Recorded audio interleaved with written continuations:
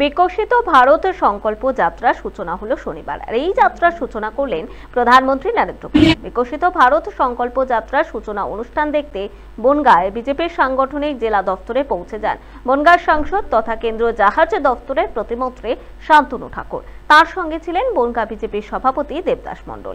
এদিন কেন্দ্রীয় প্রতিমন্ত্রী জানান, ভারত মালা থেকে রেলে কিংবা জাহাজ দফতর প্রভূত পরিকাঠামোগত উন্নয়ন করছে। আগামী দিনে দেশ পাঁচ ট্রিলিয়ন অর্থনীতিতে পৌঁছবে। বিশ্বে তৃতীয় বৃহৎ অর্থনৈতিক শক্তিতে পরিণত হবে। সেই লক্ষ্যে কাজ শুরু হয়েছে।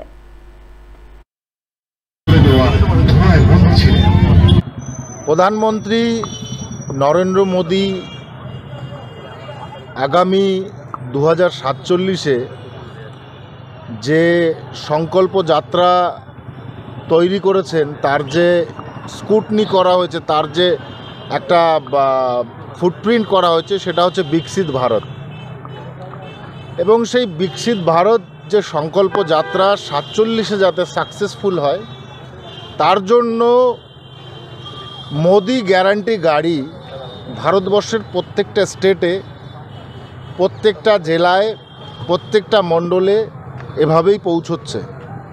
প্রধানমন্ত্রী নরেন্দ্র মোদী যে চিন্তাভাবনা করেছেন যে আগামী দু হাজার সাতচল্লিশে ভারতবর্ষ তৃতীয় বৃহত্তর শক্তি হিসেবে পৃথিবীর ভিতরে গণ্যিত হবে। Five trillion economy Bharatvarsha survive করবে। এই সংকল্প যাত্রা যদি আমাদের সাকসেস করতে হয়, তাহলে আমাদের যে আভ্যন্তরীণ যে ডেভেলপমেন্ট সেই ডেভেলপমেন্ট অর্থাৎ ইনফ্রাস্ট্রাকচার ডেভেলপমেন্ট আমাদের করতে হবে।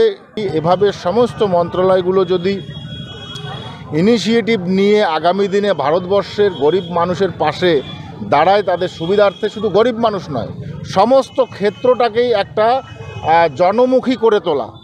এবং সেই জনমুখী করে করে তুলতে পারলেই আগামী দিনের সামগ্রিক বিকাশের জন্য ভারতবর্ষের ডেভেলপমেন্ট হওয়া আবশ্যিক। আর সেই পথে অগ্রসরের জন্য আজকে মাননীয় প্রধানমন্ত্রীজি এই সংকল্প যাত্রা শুরু করেছেন। চল্লিশ থেকে বিয়াল্লিশখানা গাড়ি ঘুরছে সারা পশ্চিমবঙ্গে এবং শুধু পশ্চিমবঙ্গে নয় সারা ভারতবর্ষের প্রত্যেকটা রাজ্যেই ঘুরছে। এরকম কোনো পার্টিকুলার হ্যাঁ? এরকম কোনো পার্টিকুলারলি বিষয় নেই। তবে ছাব্বিশে জানুয়ারি পর্যন্ত এটা প্রচার করার একটা নির্দেশ সেন্ট্রাল গভর্নমেন্টের আছে।